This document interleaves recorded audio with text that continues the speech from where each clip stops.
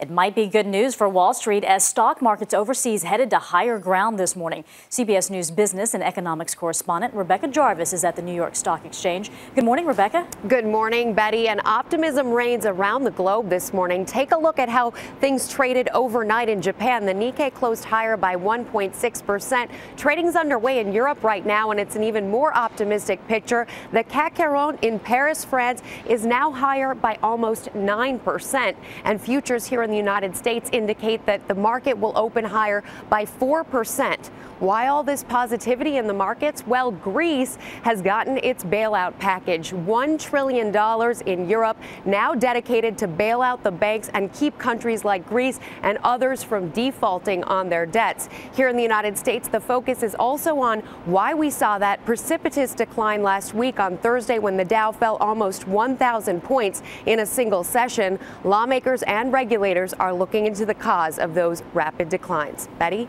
CBS's Rebecca Jarvis at the New York Stock Exchange. Thank you. A lot happens early on The Early Show, weekday mornings on CBS.